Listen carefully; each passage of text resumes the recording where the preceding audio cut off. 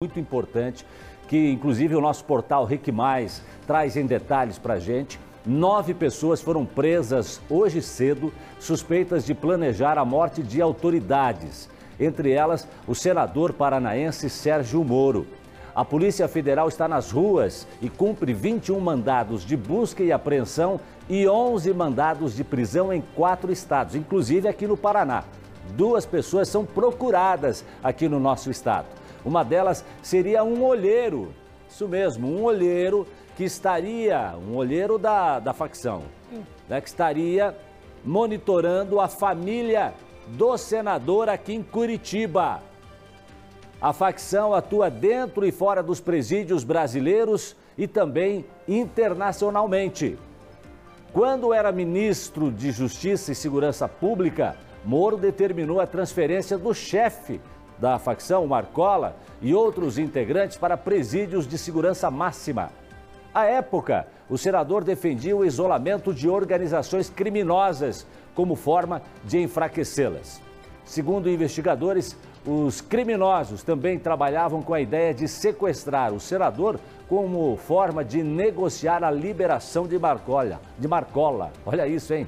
Ao menos 10 criminosos se revezavam no monitoramento da família do senador aqui em Curitiba, segundo os agentes apuraram. O jornalista do Grupo RIC, Marques Souza, informou que o senador Sérgio Moro passou a ser escoltado há mais de um mês por aproximadamente 10 PMs do Paraná por causa do monitoramento de ameaças da organização criminosa.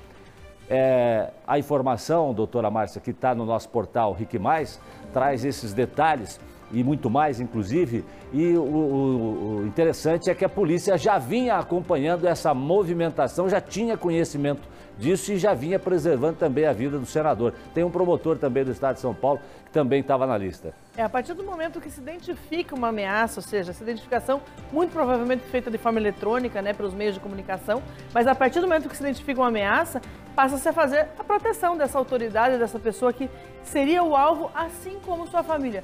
Porque o que a gente sabe sobre esse tipo de situação, que às vezes, apesar de dizer que o alvo é, o, o no caso, o Sérgio Moro, no caso, a autoridade em si, né, ele para atingi-la pode levar alguém da família. Então, infelizmente, tem que fazer uma proteção mais ampla.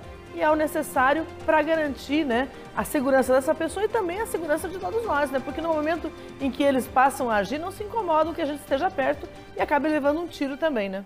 O senador Sérgio Moro vai fazer um pronunciamento hoje à tarde no Senado para falar sobre esse assunto. Imagina você